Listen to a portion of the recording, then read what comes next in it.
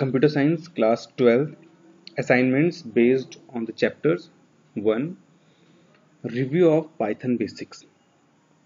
Assignment 2 the second assignment for you is write the output of the following code. The code is given here.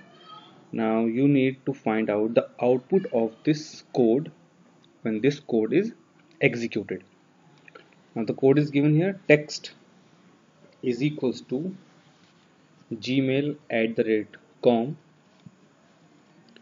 In the double quotes that means it is a string. This string is saved inside the variable text. L is equals to len in bracket text. Len is the function you know is used to calculate the length of the string. So this string length is calculated using the len function and it is stored inside the variable l now n text is another variable we have taken here is equals to blank. That means currently this variable is blank. Nothing is stored inside n text. Now we have used a loop here for i in range 0 comma l. 0 comma l l is the l store the value which contains the length of the string text now this loop will continue if text i dot is upper function is correct that means if this condition is satisfied so you need to do this part and text to blank hai in this variable you need to store n text plus n text text i dot lower that means the text i है इसके ith in this string the variable which is coming at ith location.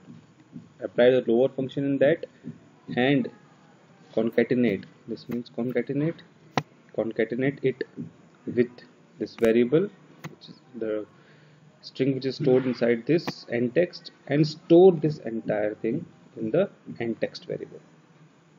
If this condition if text i dot is upper function is not fulfilled if this condition is false then come to the elif part.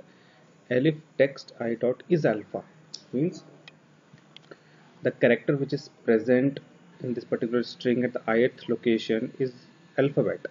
If this condition is true then you need to perform the next task that is n text is equals to n text plus text i plus dot upper n text plus text ith location पे आपको अपर function apply करना है and concatenate it with the string which is stored inside the end text and store the entire result in the end variable else if this condition is not satisfied false if this condition is also false then directly come to the else part and see end text you need to concatenate b b small b small b.